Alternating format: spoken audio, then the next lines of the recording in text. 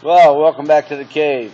Wednesday morning, August 15th. We are 10 days out from the Fight Fit Challenge benefiting muscular dystrophy. Okay, we've had a really good response to this so far for competitors. But we want to make sure we, that people know that this is open to spectators for a $10 donation through our website for Muscular Dystrophy Association.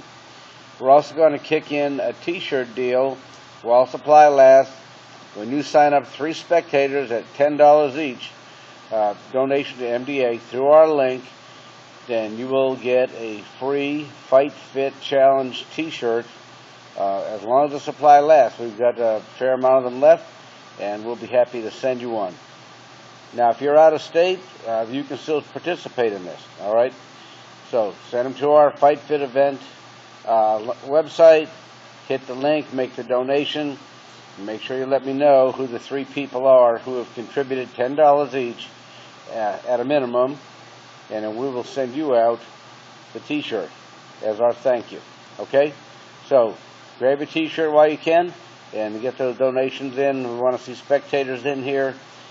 Uh, you know, the uh, this is a pretty unique event to have a martial arts competition combined with a with a strength competition. It's going to be pretty exciting.